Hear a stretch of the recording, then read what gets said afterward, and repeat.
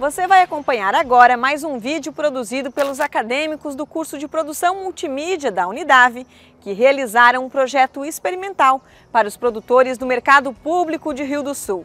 E hoje é a vez de conhecermos a história da família Shelter.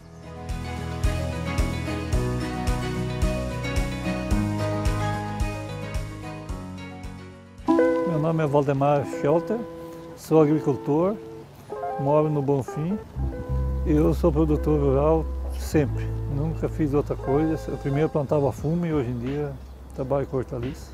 Bem, eu sou Vânia Kersten, shelter, trabalhei em costureira, trabalhei em gráfica e no momento sou agricultora. Eu plantei fumo 35 anos. A gente sempre pensa, não, ano que vem ainda vai dar. Daí tu pensa, não deu. Não, vou plantar 35 ano que vem. E assim vai. O Valdemar, quando eu conheci ele, ele ainda era o grande plantador de fumo aqui em Rio do Sul. Problemas financeiros, de, tempo do fumo, que eu digo, a gente recebia uma vez por ano. Mas sei lá, no é, março, abril, a gente recebia. Começa a plantar outras coisas para tentar, pelo menos para se alimentar. Daí, alguma coisinha para vender. Daí a gente pensa, mas então por que não plantar só isso? Porque na verdade o mercado tem. Aí eu falava para ele, poxa Valdemar, você vendendo repolho, pra, entregando para a merenda da prefeitura, tá dando o mesmo valor que você está trabalhando o tempo todo, lutando e aquele fumo tá dando uma merrequinha a mais do que uma coisa que você planta em três meses, colhe, renova a terra, planta outra coisa. Para supermercado também eu vendo, e daí para merenda escolar, daí agora apareceu isso aqui, botar, vender na feira municipal aqui. Vamos embalar, vamos. Então vamos começar, vamos comprar máquina para embalar, vamos fazer etiqueta. Ah, não, a prefeitura até cede certas etiquetas e tudo. Então vamos tentar. Vamos com a ajuda de, de ideias ou algumas outras coisas assim. E sempre embaladinho, bonitinho, higienizado as mãos antes de pegar no produto. Põe luva, passa álcool e vamos embalando.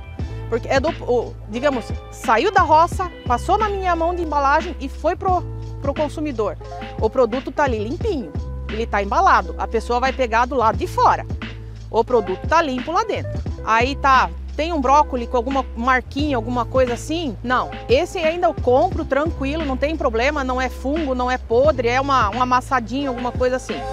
Eu prefiro trabalhar com verduras porque sei lá, é alimento, é a coisa mais saudável. Meu, na minha banca tem, como tem brócolis, tem couve-flor, tem moranguinho, tem é, nata colonial, tem queijinho. A gente planta o tomate, planta a cebola, fazer um molinho pronto, é tudo com carinho. Não vou dizer que a gente está reaproveitando coisa estragada, é coisa boa, só que não vai mais para o mercado porque o tomate já passou né? Mas para um molho, para uma saladinha, talvez ele não dá mais. Mas para um molho gostoso, a gente compra sempre uns dos outros ali, né? As bancas sempre compram umas das outras e é muita qualidade.